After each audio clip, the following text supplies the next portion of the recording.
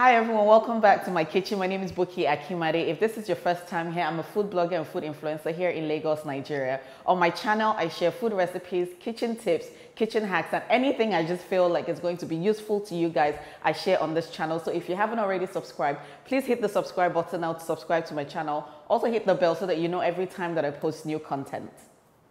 In today's video, I'm going to be sharing a recipe for nkwobi.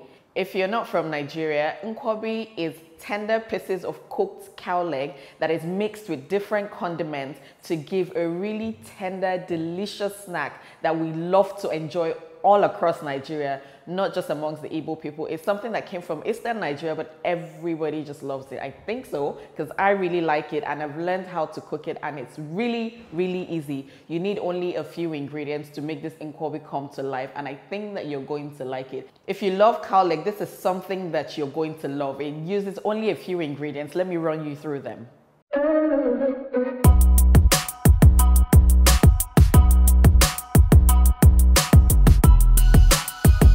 For my nkwobi, I'll be using cow foot.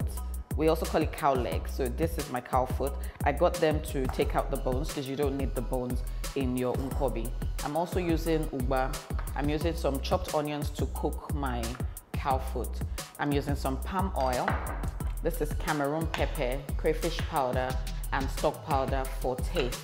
I'm also using potash. This is very important in nkwobi and you have to have this. I'm using some salt and this is um, ground calabash nutmeg. I think it's called uhuru. If I'm wrong, please correct me, but I think it's called uhuru. You need this and potash especially in your nkwobi. And I'm going to use some utazi, some fresh utazi leaves as well as garnish. To start my nkwobi, I'm going to cut them into smaller pieces. They need to be really, really small because um, you usually pick them up with your fingers or with a toothpick, so they need to be bite-sized when you're making nkwobi. So I'm going to cut this into smaller pieces. This one has a bone in it, so I'm just going to leave it. But for the others, I'm going to cut them into smaller pieces. And this is the kind of size that we're looking for, bite size.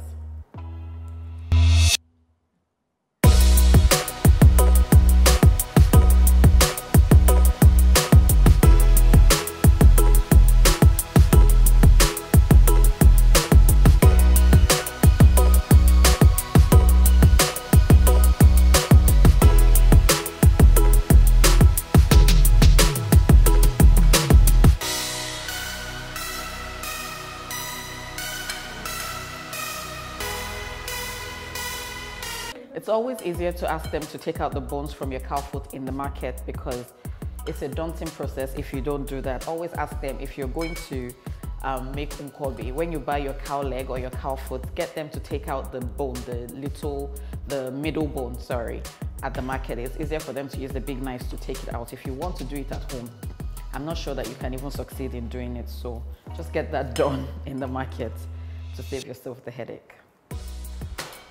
So this is all cut now. I'm going to wash it and then put it in a pot and season it and cook it until it's very, very soft. It has to be very, very soft. Falling apart kind of soft. So I'm going to start by adding my cow foot into the pot. I'm only going to season it with some onions, stock powder and salt. The rest of the seasoning comes when I'm putting the actual nkwobi together. This is just to cook my cow foot and get it ready. So this is some salt and then I'll add some water. A lot of water because this needs to cook until it's super tender.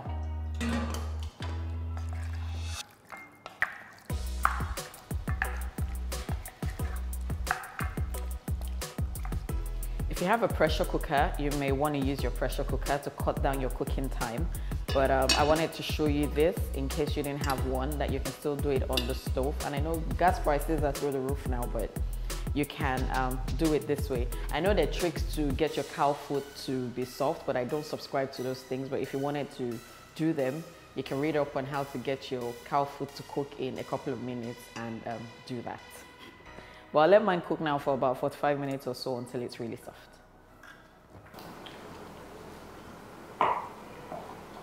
My nkwobi is now really, really soft, as you can see, almost falling off the bone. This is what we want because you just want to put it in your mouth and it just melts away. So I'm going to take this out from the stock now and then I'll show you how to prepare the actual nkwobi. So I'm going to dissolve my potash in water.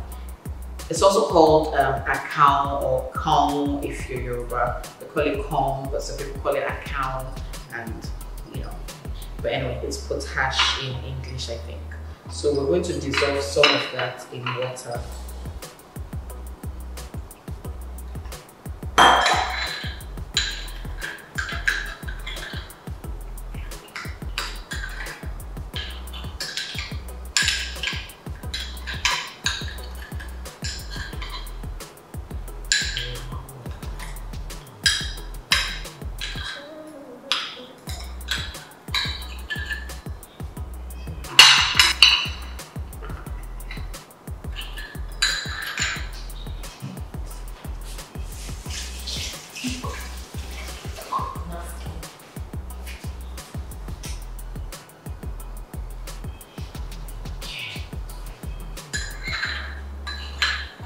Okay, so now that all this is dissolved in water, so in the pot or the pan where you want to make your nkwobi, we're going to add some palm oil.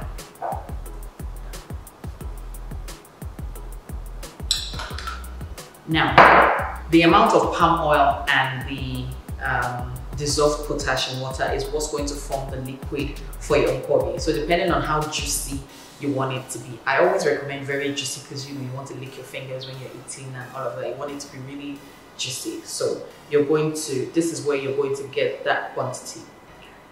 In this palm oil now, I'm going to add some of this. And you can see it starts to um, sort of change color to this, I don't know what to call it, but it's kind of cloudy. And so this is what you need for your cow foot and the ugba to mix in to form that juiciness and nkwobi that we like. I'm going to add a little bit more. Yeah, I think this is fine. So now I'm going to add my spices. So here's the ground uhuru, which is the calabash nutmeg. I'm going to add some salt.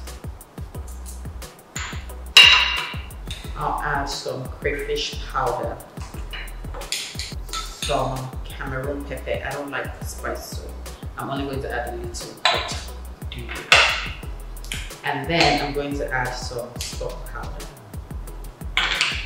Now, even though I said that this didn't require any heat, when you've mixed it up, you can put it back on the heat just to warm it a little bit, not to cook it again, just to warm it, just to heat it, make it warm kind of thing. But you don't really have to if you don't, because my cow foot is still hot. I warmed my ugba, so that's kind of warm too. So I think I have the amount of heat that I need.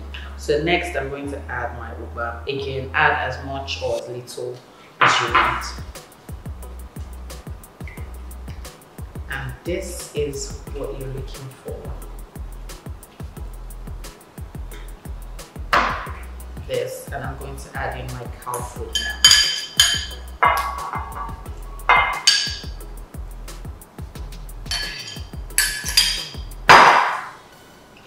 And then I just combine this. And this is really how simple it is to make nkwobi. I am telling you, it is not a difficult process at all. You want to garnish it with some utazi. It also adds a bit of taste to it. But don't use too much because utazi is a very bitter leaf. So if you don't like bitter or you're not familiar with it, don't add too much. And then this is how we plate nkwobi.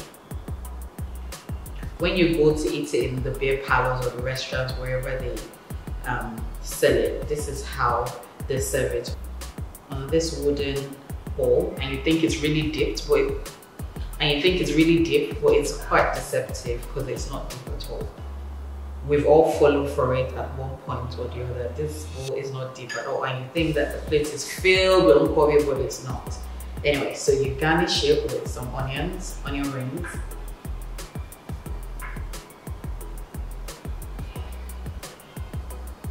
You sprinkle a little bit more fresh utazi on it. And this is what your nkwobi should look like.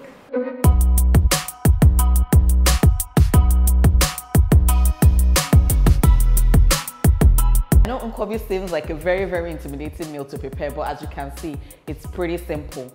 Get your cow food cooked right, get the spices, they're very specific spices, get that right and just put it together and it's quick and easy to prepare. For what it costs to eat outside, I think everybody should prepare their own nkwobi at home at a fraction of the cost. I know you've enjoyed watching this video, but let me know if you have. Please leave me your comments in the comment section. If you have any suggestions for videos that you'd like to see, let me know also in the comment section and I'll see you in my next video. Don't forget to subscribe to my channel if you haven't already done it and I'll see you in my next one. Take care. Bye-bye.